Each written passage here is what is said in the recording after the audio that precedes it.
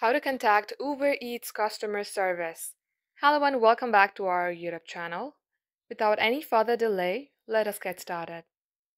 Launch open any of your web application and at the top search bar type in Uber Eats customer service.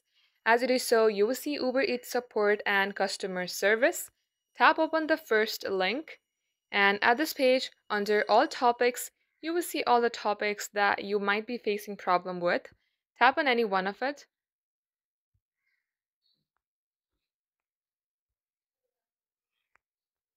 Then here you will get all the problems solution and in case you would like to chat with them, all you have to do is tap on to login to get help. From here you can either contact Uber Eats via a email or a call. Just like so, this is how you can contact them. Thank you for watching the video till the very end.